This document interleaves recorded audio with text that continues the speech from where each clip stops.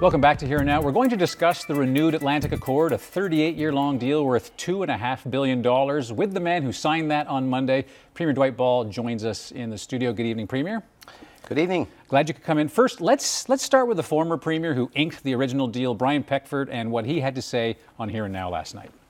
The first thing I think that any Newfoundlander or Labradorian read this, reading this deal would say, "What? Not another fixed term?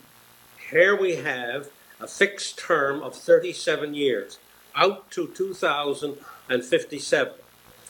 That, right away, is a red flag. What we should have negotiated was a floor where we couldn't get less, but we had the opportunity to get more if the federal government got more. Mr. Ball, I don't expect you to agree with Brian Peckford, but can you see his point that you know we, you know, the, the history of the Churchill long-term agreement? We're going to pay off Muskrat Falls for 50 years. Now this. Do you see where he's coming from? Oh, not really, because what he should have done was actually give me a call. It's very unusual for a former premier and myself to come out, but I, I felt compelled. You know, I remember '86; it was a great day for Newfoundland and Labrador, as was 2005.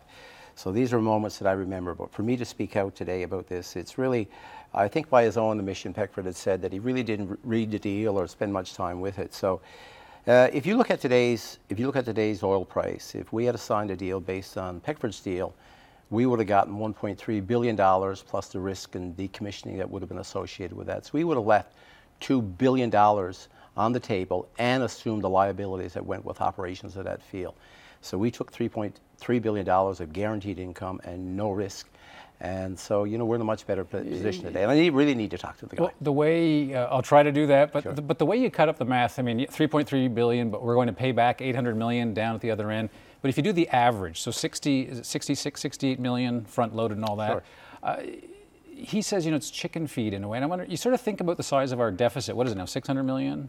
The debt's at 13 billion. I mean, is 66, 68 million dollars a year, is that is that a good deal in your mind? Well, this is one agreement of many that would need to be done, but we started out this negotiation around joint management and principal beneficiary. This is what the accord is all about.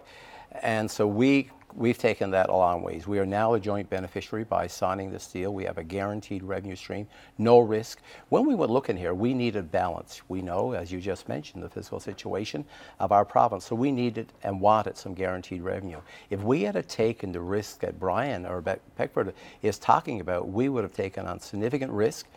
That field right now is an old field. 40 million barrels is the reserve that's left. That, mm-hmm. that means it's valued at $1.3 billion today. So for us to take on that deal, this field would have nearly had to double over between now and, and its finalization of that, pro, uh, but, that deal. But is that the trade off, though? You get stability for a quarter century, roughly, or a bit more in exchange for okay if oil were to hit 150 or something in the future then is that the trade-off? Well in the first 11 years when you think about it, this is a declining field. Uh, if you, the evaluation on that field right now would be 40 million barrels. It's produced a lot of oil already. Mm-hmm. so that field would nearly have to double to get to 3.3 billion dollars in value. And that would have to happen quickly because we get 1.9 billion out of this in the first 11 years. Right. So the longer out you go the less opportunity as you know once you're depleting uh, an oil field.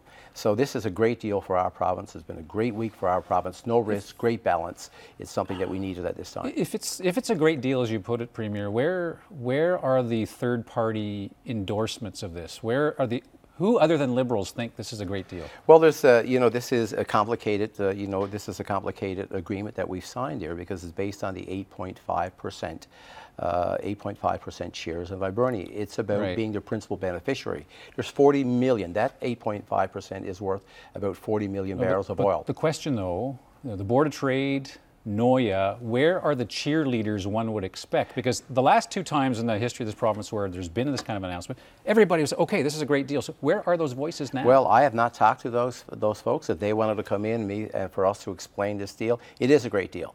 It is a guaranteed revenue stream of $2.5 billion. Nothing, there's no risk for us. It balances out the portfolios that we already, that we already have.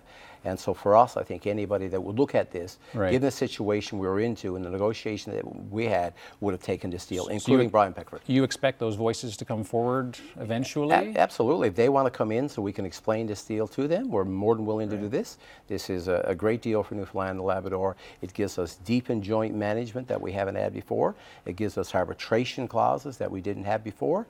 It also provides some certainty in the offshore field that we haven't had before, which is what the industry is looking for. One political critical question uh, has to do with you know, did you have to go through this quickly so Dwight Ball would have something to campaign on? No, no, not at all. We started this process a year ago when I fir- first wrote the letter uh, to Prime Minister Trudeau at the time, and on February the 22nd, we agreed to get this done by March the 31st, and we were able to do that. That's not to say this wasn't a tense uh, negotiation. There are times it certainly was. We came out of this with a guaranteed revenue stream.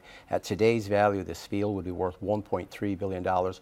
Peckford would have left 2 billion on the table and assumed too much risk for this province. Okay, Bill Morneau, the federal finance minister, is here on Friday. I wish we had time to get into that, but I have a feeling, Premier, that we're going to be speaking very frequently in the next two months. I certainly hope so, Anthony. I always enjoy getting the chance to speak with your listeners and clarifying some of the points like we did here tonight. All right, Premier Ball, thank you very much. Thank you.